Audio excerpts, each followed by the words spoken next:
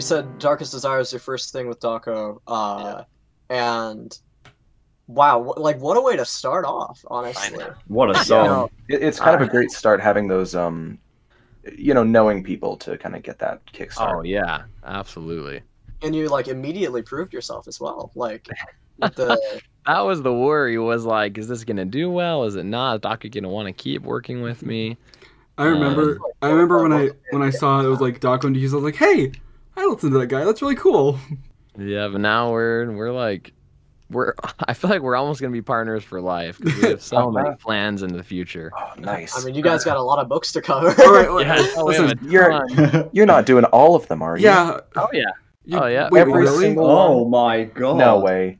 It'll probably take three three years to finish all Gotta this. be kidding Okay, me. I, I gotta ask. Have That's you heard amazing. about Tales from the Pizzaplex? No, what the heck?